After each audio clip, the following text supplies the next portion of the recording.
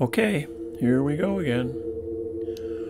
Roald Dahl and the Minpins, illustrated by Patrick Benson. Okay? How many of you have read some of Roald? James and the Giant Peach, Charlie and the Chocolate Factory, The Witches, uh, the BFG. I've done that one already. It's on it's on the website. Matilda, okay? But today I'm going to read to you Roald Dahl's The Minpins, illustrated by Patrick Benson, okay? And this was for Ophelia. I don't know who Ophelia was, but he, she must have been important to Roald Dahl. Little Billy's mother was always telling him exactly what he was allowed to do and what he was not allowed to do. All the things he was allowed to do were boring, and all the things he was not allowed to do were exciting. One of the things he was never, never allowed to do the most exciting of them all, was to go out through the garden gate all by himself and explore the world beyond. On this sunny summer afternoon, little Billy was kneeling on a chair in the living room, gazing out through the window at the wonderful world beyond. His mother was in the kitchen uh, doing the ironing, and although the door was open, she couldn't see him. And every now and again, his mother would call out to him, saying, Little Billy, what are you up to in there, hmm? And little Billy would always call back and say, ah, I'm, I'm, I'm being good, Mummy. But little Billy was awfully tired of being good.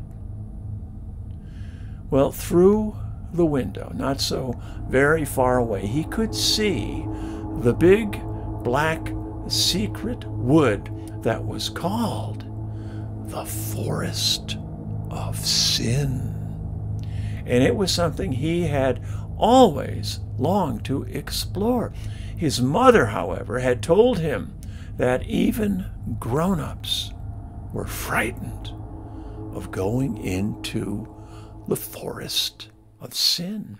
And she, she recited a poem to him that was well known in the district. And it went like this Beware, beware the forest of sin. None come out, but many go in.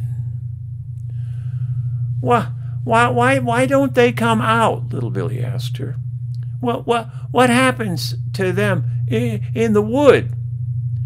That wood, his mother said, is full of the most bloodthirsty, wild beasts in the world. Well, uh, you mean tigers and lions? Little Billy asked. Oh, much worse than that, his mother said. Well, well, what's worse than tigers and lions, Mummy? Whangdoodles are worse, his mother said, and hornswogglers and snozzwanglers and vermicious knids. And worst of all is the terrible blood suckling, tooth pluckling, stone chuckling Spittler. There's one of them in there too. Uh, uh, a, a spittler, Mummy? Of course.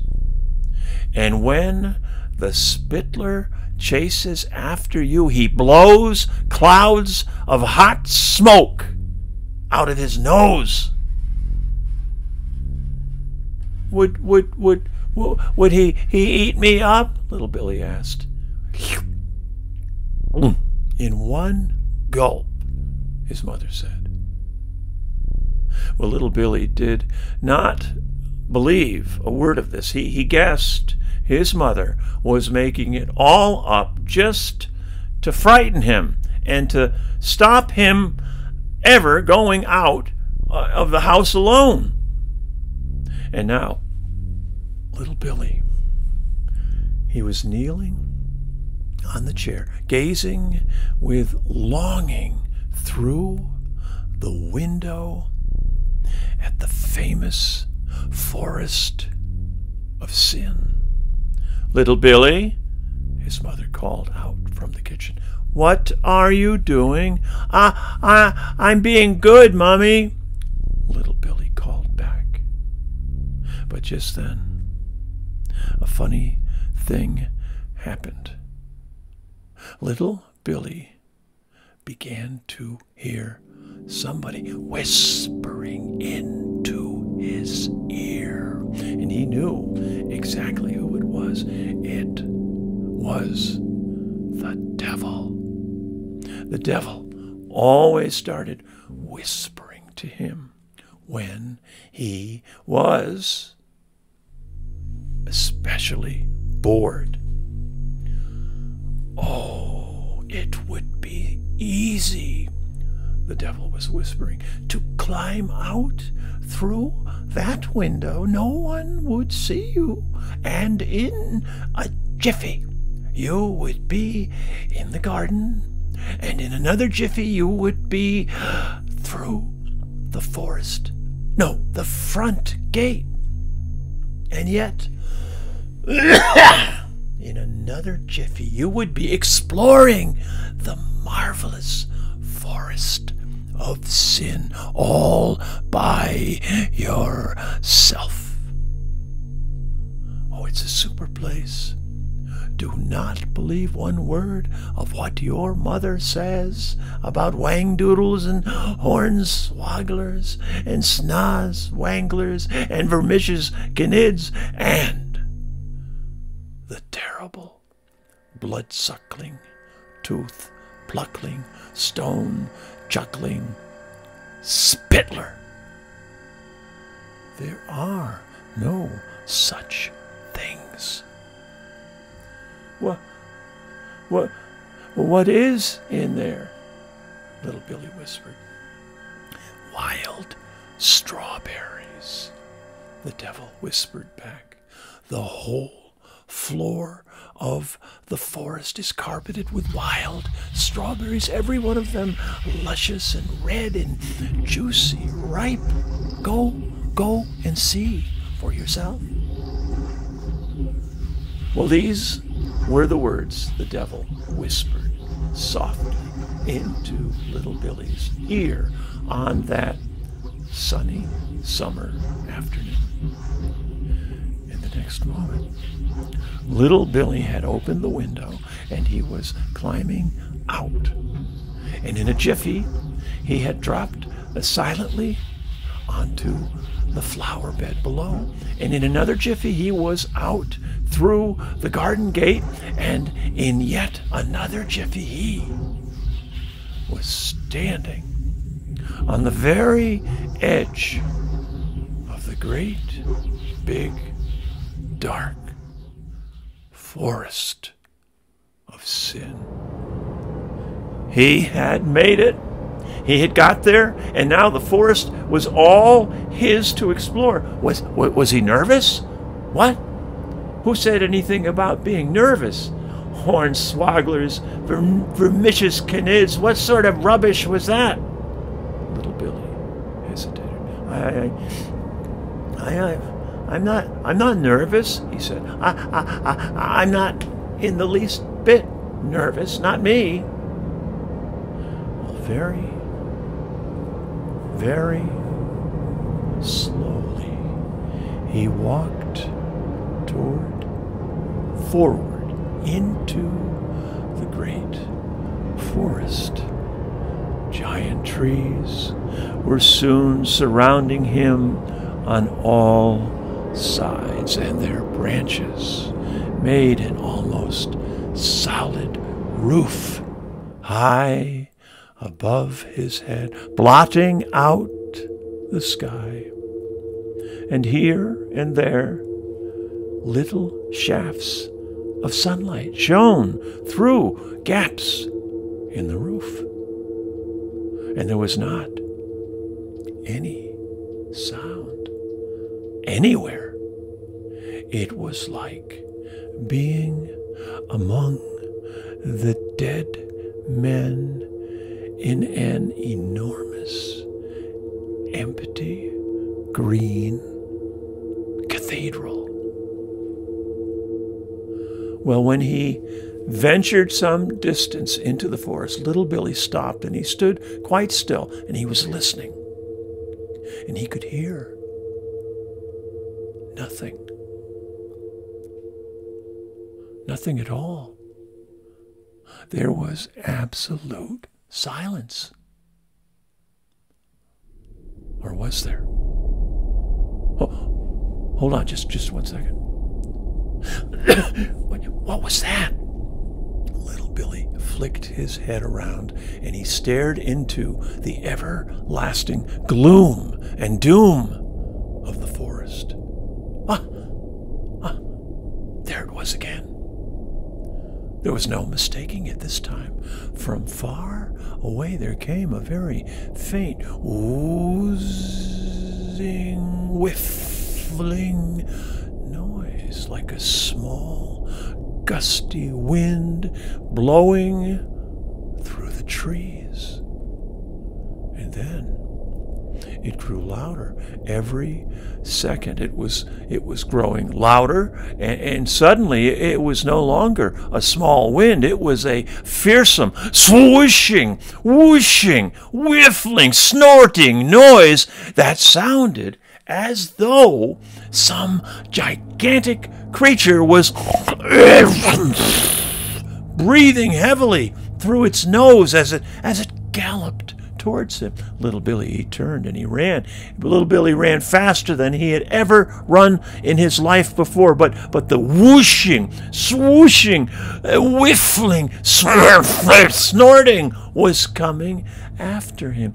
Worse still, it was getting louder and louder, and this meant that that the the, the thing, the, the the maker of that noise, the the, the galloping creature was getting closer, and, and it was catching him up. Run, run, run, little Billy, run, run, run. And he dodged around massive trees and he skipped over roots and brambles and he bent low to flash under boughs and bushes, and he, and he had wings on his feet. He ran so fast, eh, but still the fearsome swooshing, whooshing, whiffling, snorting noise grew louder and louder, and it was it came closer and closer. And little Billy glanced back quickly over his shoulder, and now, in the distance, he saw a sight that froze his blood and made icicles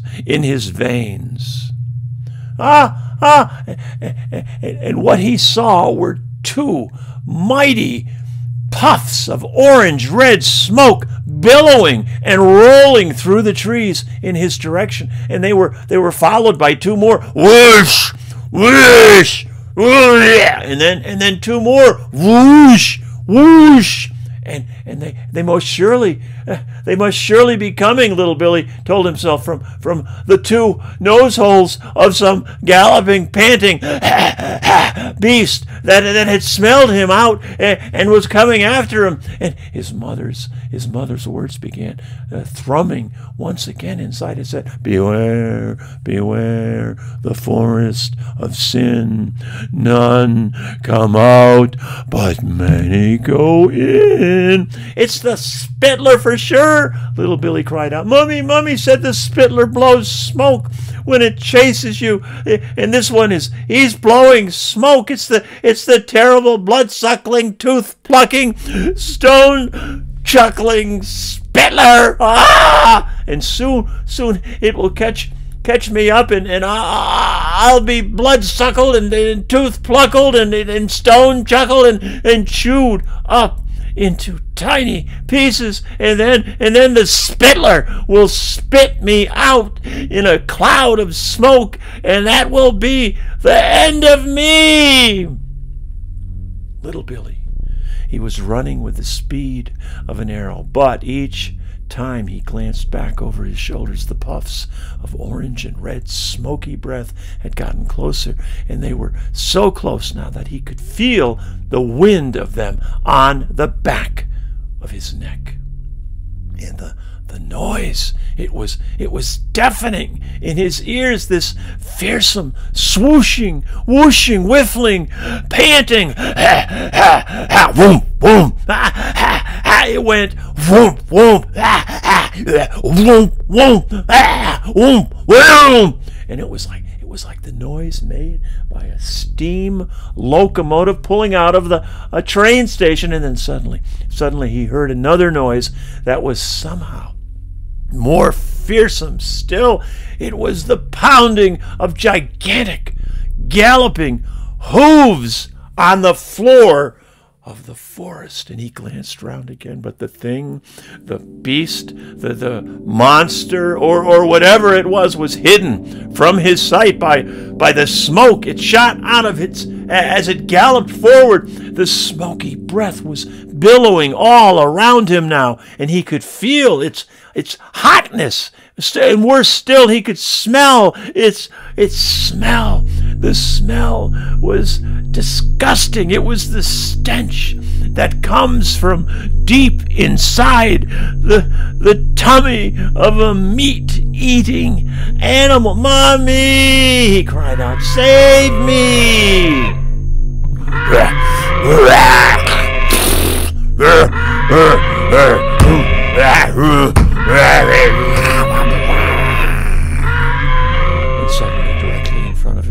saw the trunk of an enormous tree and this tree was very was different from the others because it, it had branches hanging down very low. While while still running he made a frantic jump for its lowest branch and he caught it and he pulled himself up and then he grabbed the next branch above his head and he pulled himself up again and again and then again and he was climbing higher and higher to get to get away from the, the terrible snorting the, the smoke blowing smelly breathed beast that was down below. And he stopped. He stopped climbing only when he was too exhausted to climb any higher.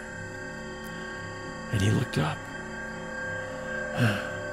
But even now he couldn't see the top of this giant tree. It seemed to go on forever. And he looked down. And he couldn't see the ground either. He was he was in a world of green leaves and thick smooth branches with no earth or sky in sight. The snorting, smelly, smoke blowing beast was, was miles ahead, uh, miles away now, down, down below somewhere, and he couldn't, he couldn't even hear it anymore. Well, little little Billy, he found a, a comfortable place where, where two big branches came together and he, he sat down to rest. And for the moment, at any rate, he, he was safe. And then something very peculiar happened. There, there was a huge, smooth branch very close to where Billy little Billy was sitting, and he suddenly he noticed that a small square patch of bark on this branch was beginning to move. It was a very small patch, about the size of a postage stamp, and the two sides of it seemed to be splitting down the middle and opening slowly outwards like a pair of, of, of shutters on some tiny window. Little Billy sat, staring at this extraordinary thing, and, and all at once, a strange, uncomfortable feeling came over him. It felt as though the tree he was sitting in and the green leaves all around him belonged to another world altogether. And that he he was a, a trespasser who had no right to be where he was. And he watched intently as the tiny shutters of the tree bark opened wider and wider. And when they were fully open, they revealed a small, squarish window set neatly in the curve of the big branch, where there was there was some sort of a yellowish glow coming from deep inside the window. And the very next thing little Billy saw was a tiny face at the window. It, it had appeared suddenly from, from nowhere, and it was the face of an extremely old man with white hair. And little Billy, he could see this clearly, despite the fact that the whole of the tiny man's head was no larger than a pea. This ancient, miniature face was staring at little Billy with the most severe expression on it. And the skin on the face was deeply wrinkled all over, but the eyes were as bright as two stars.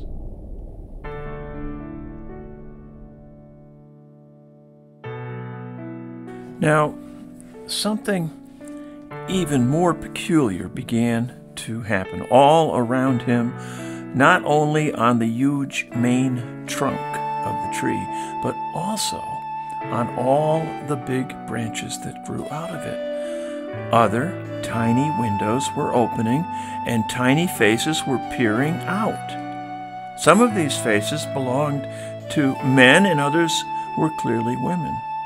Here and there, the head of a child was seen, peering over a windowsill. Now, the heads of these children were no larger than the heads of matchsticks. In the end, there must have been more than 20 small windows all around where little Billy was sitting. And from each window, these amazing little faces were peering out. No sound came from any of the watchers. The faces were silent unmoving, almost ghost like. Now, the tiny old man in the window nearest to Billy, he seemed to be saying something, but his voice was so soft and whispery. Little Billy had to lean right up close to catch his words. You're in a bit of a twizzler, aren't you? The voice was saying. You can't go down. And again, uh, because if you do, you'll be guzzled up at once by. But you, but you can't possibly sit up here for ever either. I know, I know, little Billy gasped. Don't, don't shout, the tiny man said. I'm, well, I'm, I, I'm not shouting, little Billy said. Talk softer the tiny man said. If you talk too loud, your voice will blow me away. But, but, but, but who are you? Little Billy asked, taking care to speak very softly this time. We are the Min Pins, the tiny man said, and we own this wood. I shall come closer, and then you will be able to hear me better. Well, the old minpin climbed out of his window and he walked straight down the big, steeply sloping branch, then up another branch until he found a place only a few inches from little Billy's face. Oh, it was amazing to see him walking up and down these almost vertical branches with the slightest, without the slightest trouble. It was like seeing someone walking up and down a wall. Well, uh, how on earth do you do that? Little Billy asked. Oh, suction boots, the Minpin said. We all wear them. You can't live in trees without suction boots. And on his feet he was wearing tiny green boots, rather like miniature wellies. And his clothes were curiously old fashioned, mostly brown and black, the, the sort of thing people wore two or three hundred years ago. Suddenly, all the other minpins, men, women, and children, they were all climbing out of their windows and they were making their ways towards little Billy. Now, their suction boots seemed to, to allow them to walk up and down the branches with the greatest ease, and some were even walking upside down underneath the branches. All of them were wearing these old fashioned clothes from hundreds of years ago, and several had on very peculiar hats and bonnets. Well, they stood or they sat in groups on all the branches around little Billy, staring at him as though he were someone from outer space. Well, but, but, but do all of you actually live inside this tree? Little Billy asked, and the old Minpin said, Oh, all of the trees in this forest are hollow.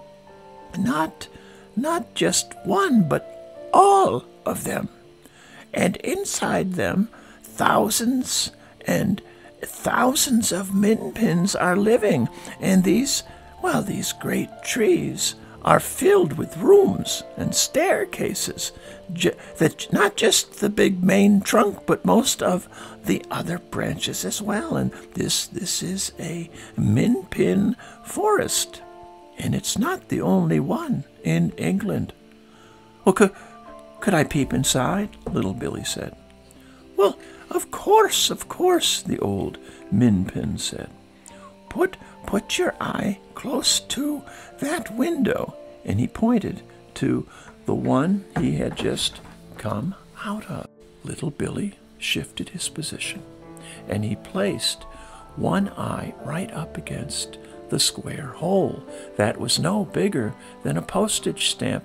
Now, what he now saw was quite marvelous. He saw a room that was lit by a pale yellow light of some sort, and it was furnished with beautifully made miniature chairs and a table. And to one side was a four poster bed.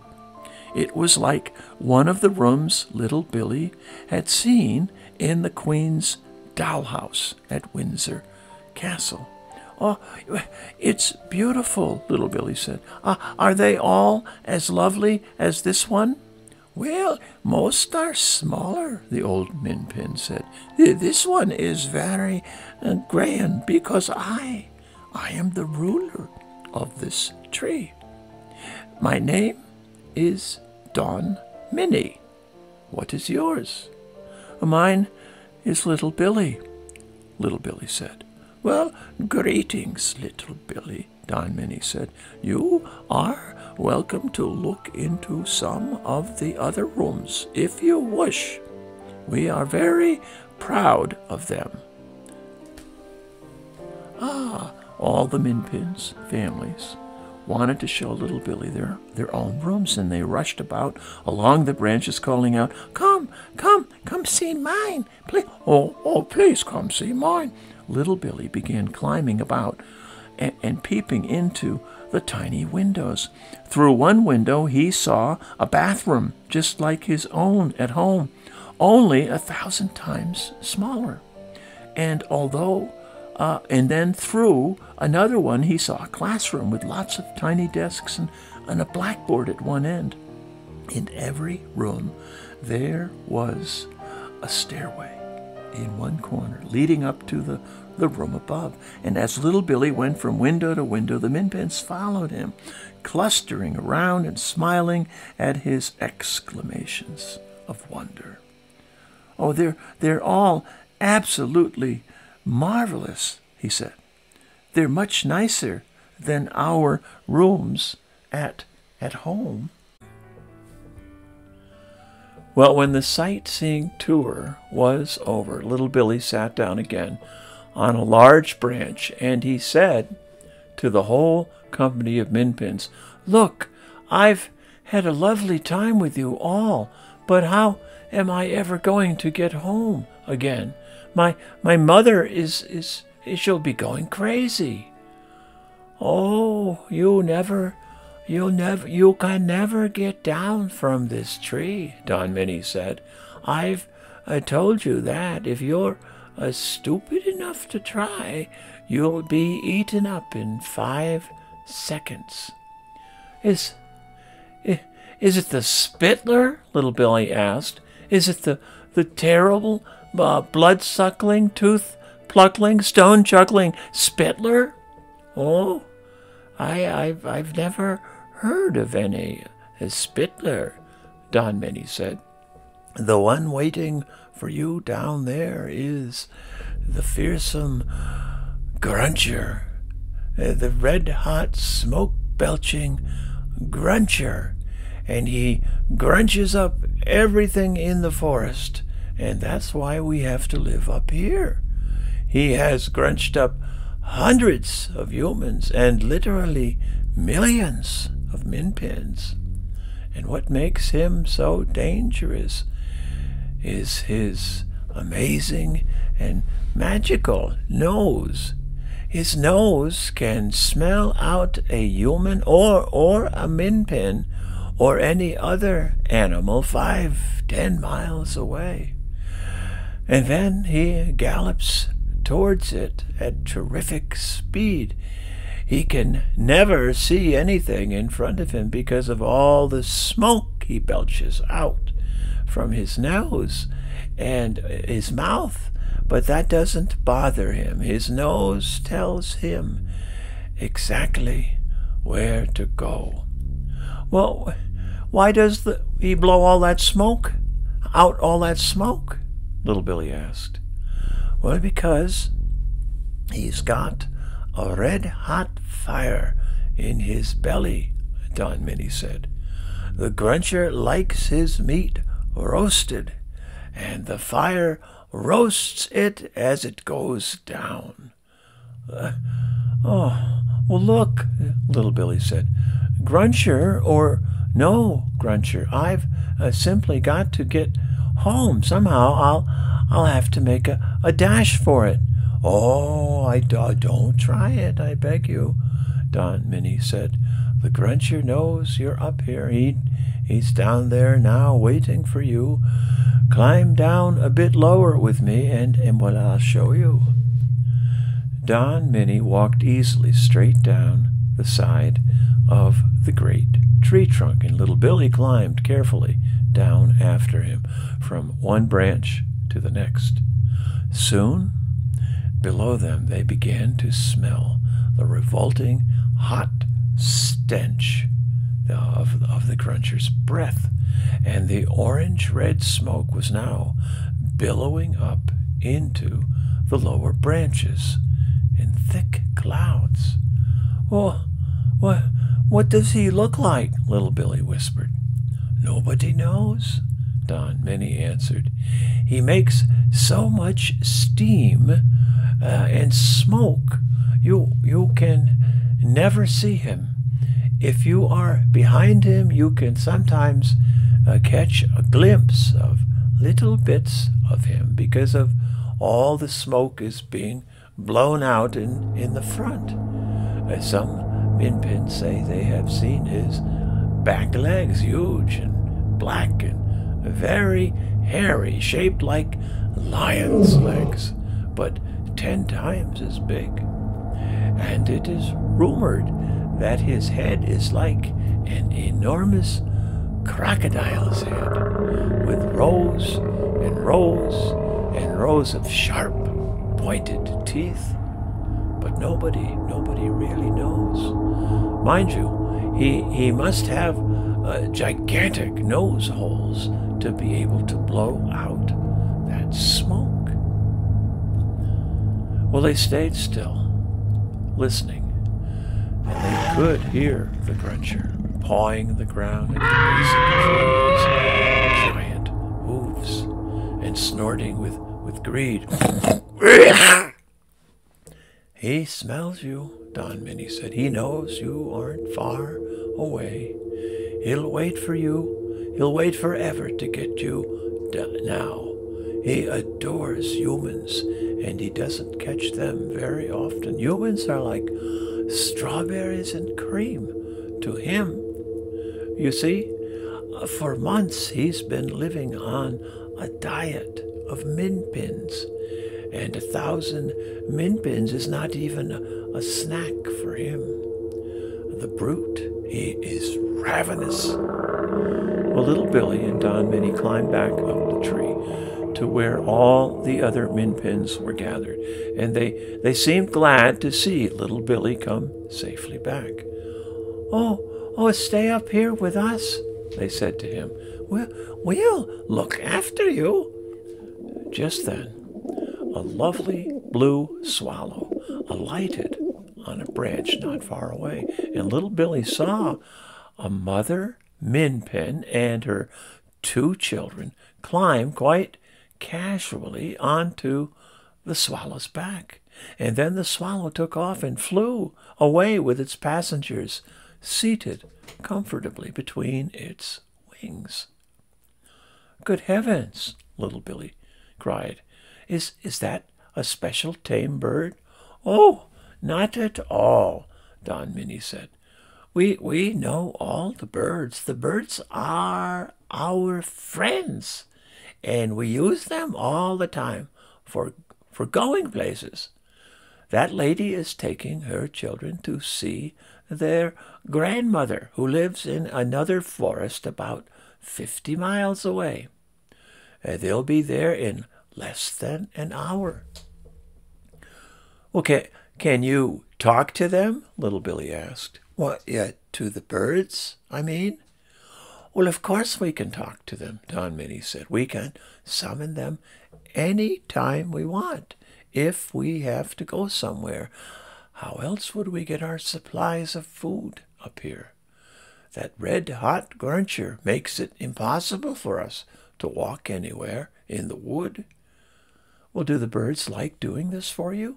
Little Billy asked. Oh, they'll do anything for us, Don Mini said. They love us, and we love them, and we store food for them inside the trees so they don't starve when the icy cold winter comes along. Suddenly, all sorts of birds were alighting on the branches of the tree around where little Billy was sitting. And the minpins were climbing onto their backs in droves. And most of the minpins had small sacks slung over their shoulders. At this time of the day, they go off to collect food, Don Mini said.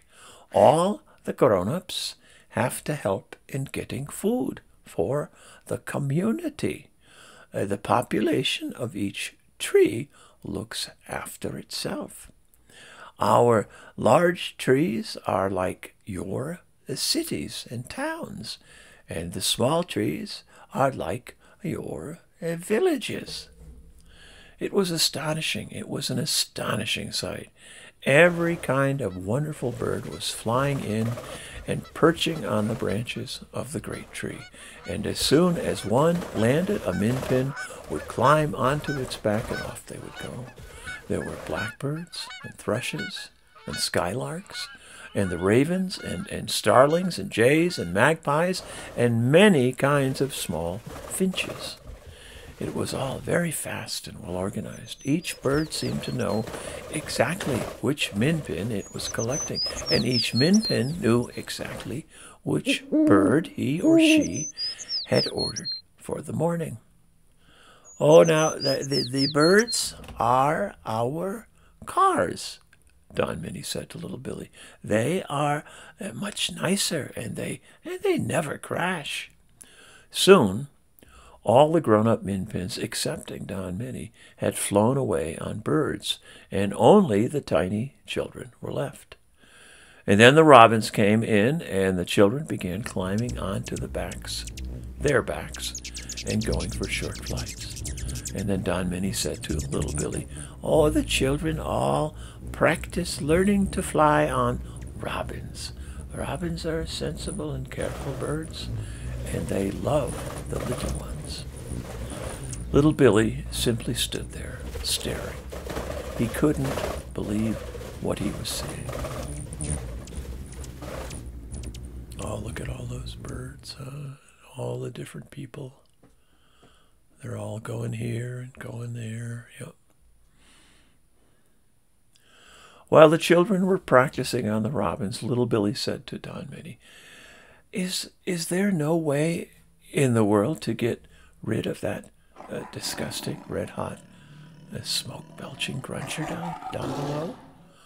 Oh, the only time a gruncher dies, Don Mini said, is if he falls into deep water. The water puts out the fire inside of him, and then eh, he's dead. Well, the fire, the, the fire to the gruncher is like your heart's, your heart is to you. You, you stop your heart, and what you, you die at once. Put out that fire in the gruncher, and he dies in five seconds. It's the only way to kill a gruncher. No, no, now ha- hang on a minute, little Billy said.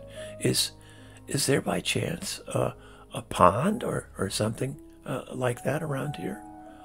Oh, there's a a big lake on the far side of the forest, Don Mini said. But who's going to entice the gruncher into that? Not us. And certainly not you. He'd, He'd be on you before you got within ten yards of him. But you did say the gruncher can't see in front of him because of all the clouds of smoke he blows, little Billy said. Oh, that's quite true, Don Mini said. But how is that going to help us? I, I don't think the gruncher's ever uh, going to fall into the lake. He, he never goes out of the forest. Well, I think, I think I know how to make him fall in, little Billy said. What I want, little Billy went on, I want a bird that is big enough to, to carry me. Don Mini thought for this, thought about this for a while, and then he said, Well, you're, you're a very small boy because of that, I think a swan uh, could could carry you quite easily. Well, uh, call up a swan, little Billy said, and suddenly there was a new authority in his voice. Oh, but but I hope you're not uh, going to do anything uh, dangerous, Don Mini cried. Listen carefully, little Billy said, because you must tell the swan exactly what he has to do. With me on his back, he must fly down to the gruncher, and the gruncher will smell me and know that I am very close. But he won't see me through the steam and the smoke, and he'll go mad trying to get at me. Well, the swan will tantalize him by flying back and forth right in front of him. Is, is that possible? Oh, yeah, uh, quite possible, Don Mini said. except that you you might easily fall off. You you've had no flying practice at all. Well, I'll hang on somehow, little Billy said, and then the swan, uh, keeping very low, will fly off through the forest with the ravenous Gruncher, Hotfoot, in pursuit. And the swan will keep just ahead of the Gruncher all the time, driving him crazy with my smell. And in the end, the swan will fly straight over the big, deep lake. And the Gruncher, now traveling at a terrific speed, will follow right behind. Presto! He's in the lake. Oh, oh, my boy, Don Mini cried. You are a genius. Well, will you do it? Call up the swan, little Billy ordered. Don Mini turned to one of the robins, which had just come back from a practice flight with a child, Minpin, on his back, and little Billy heard him talking to the robin in a kind of curious twitter.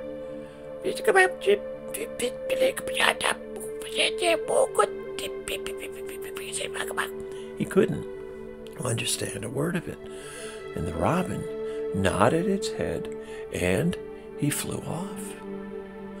Two minutes later, a truly magnificent swan, as white as snow, came swooping in and landed on a branch nearby.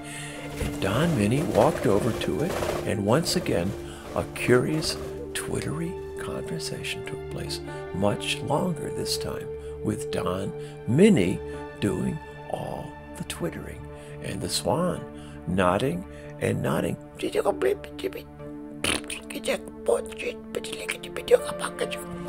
Then Don Mini turned to little Billy and he said, swan thinks it's a great idea.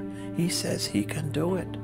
But he's just a bit nervous because you you have never flown before. And he says you must hang on very tight to his feathers. Oh, well, don't don't you worry about that, little Billy said. I'll hang on somehow. I don't want to be roasted alive and eaten by a by the Gruncher. Little Billy climbed onto the swan's back, and many of the minpins who had flown away a short while ago were were now returning on their birds. Tiny sacks were bulging. They stood around on the branches, staring in wonder at the sight of this small human preparing to take off on Swan. Oh, goodbye, little Billy, they called out. Oh, good luck, good luck. And, with that, the great swan spread its wings and glided gently down through branches of the big tree. Little Billy hung on tight. Oh, it was thrilling flying out on the back of this great swan. It was wonderful to be up in the air and to feel the air swishing past his face, and he hung on very tightly to Swan's feathers. And then suddenly, there it was, just below them, the huge billow of orange red smoke and steam coming from the nostrils of the awesome Gruncher.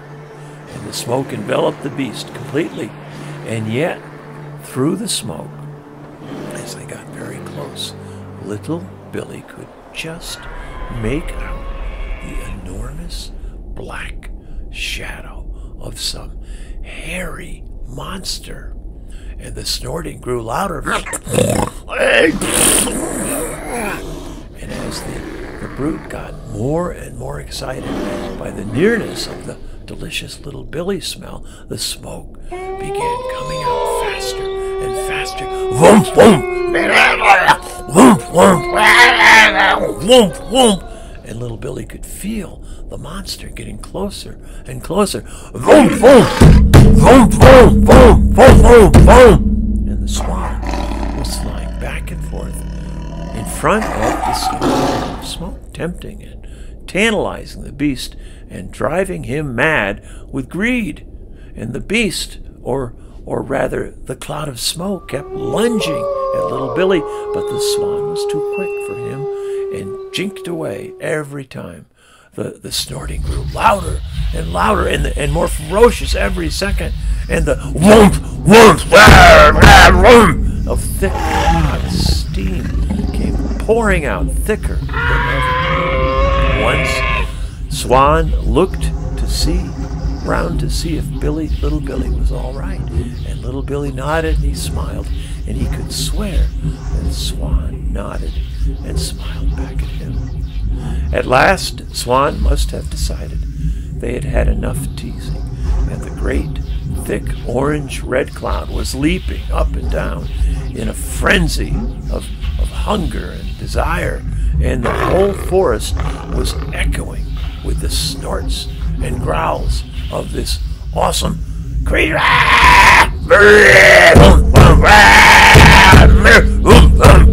And Swan glided around, headed straight towards the edge of the forest. And of course, the vast cloud of smoke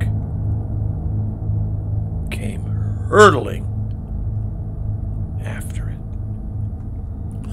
Swan was very careful to fly low at all time, all the time, and he keeping just in front of the gruncher, leading him on and on, threading path carefully through the great trees in the forest. And the scent of human food was very strong in the gruncher's nostrils, and he must have been thinking that so long as he kept going flat out, he would catch his meal in the end.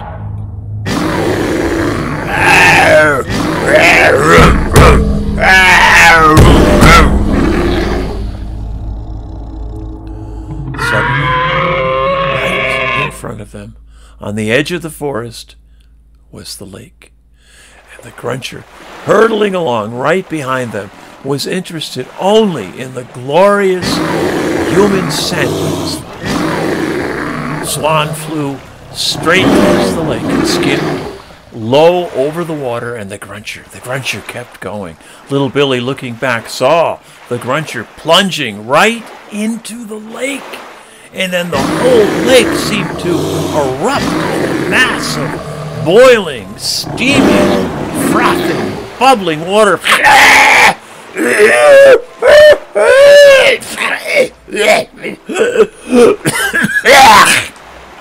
For a brief moment, the terrible, red hot, smoking, smoke belching gruncher made the lake boil and smoke like a volcano, and then the fire went out, and the awesome beast disappeared under the waves. Well, when it was all over, Swan and little Billy flew higher and circled the lake for a last look. And suddenly, the whole sky around them was filled with birds. And every bird, on every bird, they had one or more minpins on its back. And little Billy recognized Don Mini riding a fine jay, and he was waving and cheering as he flew alongside them. It seemed that all the other minpins from the big tree had turned up as well to witness the great victory over the dreaded gruncher. Every kind of bird was circling around little Billy, and Swan and the minpins on their backs were waving and, clapping and shouting with joy. And little Billy waved back, and he laughed, and he, he thought how wonderful it was. Then, led by Swan, all the birds and the minpins returned to the home tree. Now, back in the tree, there were trem- there was a tremendous celebration for little Billy's victory over the dreaded Gruncher. Minpins from all over the forest had flown in on their birds to cheer the, the young hero. And all the branches and twigs of the great tree were crowded with tiny people. And when the cheers and the clapping had finally died down at last, Don Mini stood up to make a speech. Minpins of the forest, he cried, raising his small voice so that it could be heard all over the tree. The murderous scruncher who has gobbled up so many thousands of minpins has gone forever. The forest floor is safe at last for us to walk on. So now we can all go down to pick blackberries and winkleberries and puckleberries and muckleberries and twinkleberries and snozberries to our heart's content. And our children can play among the wildflowers and the roots all day long. Well, Don Mini paused, and he turned his eyes upon little Billy, who was sitting on a branch not far away. But, ladies and gentlemen, he went on, who is it we have to thank for this great blessing that has come upon us? Who is the Savior of the Minpins? Don Mini paused again, and the Minpins, in their thousands, sat listening intently. Our Savior, he cried out, our hero, our wonder boy, is, as you already know, our human visitor, little Billy. And there were cheers and shouts of hooray, hooray for little Billy. Yay! Well, Don Mini turned and spoke directly to little Billy. You, my boy, have done a wonderful thing, and in return we wish to do something for you.